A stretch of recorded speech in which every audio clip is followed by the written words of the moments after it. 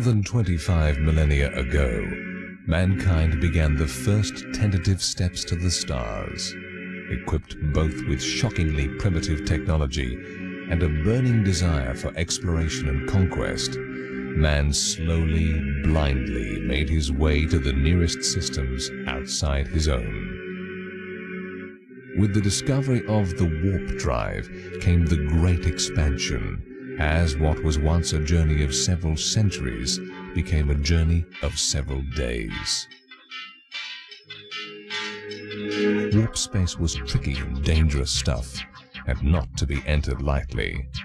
Many ships simply vanished, never to be seen again. With the discovery of the navigator gene, which allowed ship's pilots to make longer, more accurate warp jumps, interstellar travel became much safer, and soon men were exploring all of the nearby stars. Alien contact followed shortly thereafter, and, with grim inevitability, the first alien wars. The pattern was set.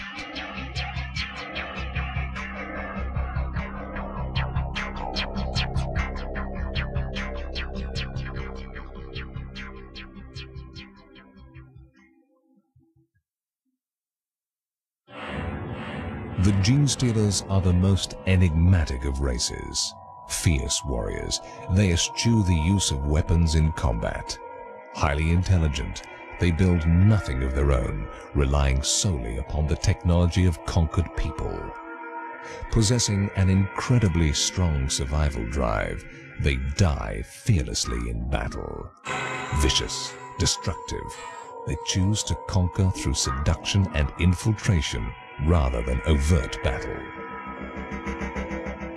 At first glance, it is difficult to believe that a cunning and malign intelligence lurks within the Genestealer's bestial exterior.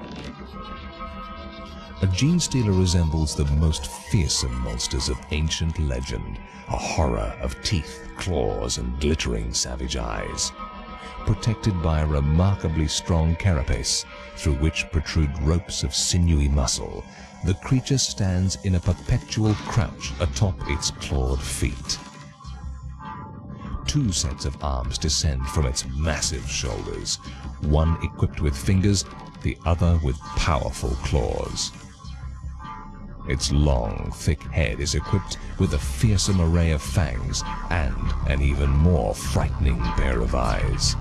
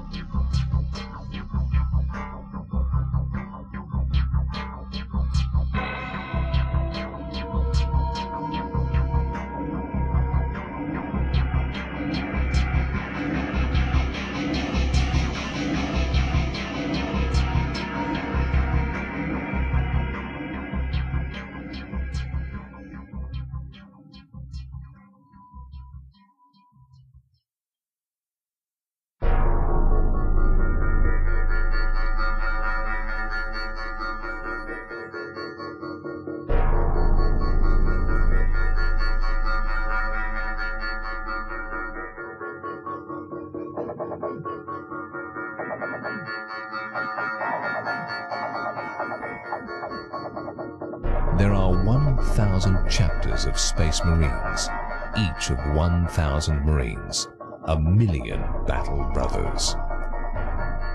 The best 100 Marines in each chapter are trained in the use of Terminator armor, fantastic battle armor created in the dark ages of technology.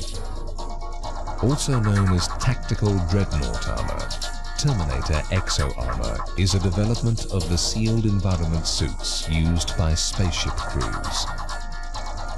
Exo Armor is constructed from heavy gauge plasteel plating, forming an armored shell that can withstand even the colossal impact of high-speed orbital micro debris.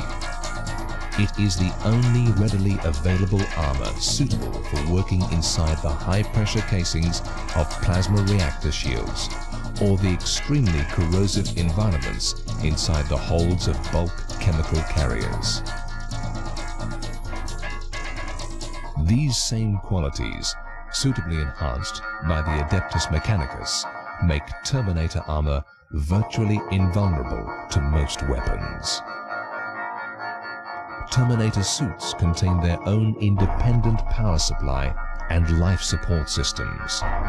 They are heavily armed and many also carry teleport homers, bioscanners, energy scanners, auto sensors, suspensors and targeters for their weapons and communicators.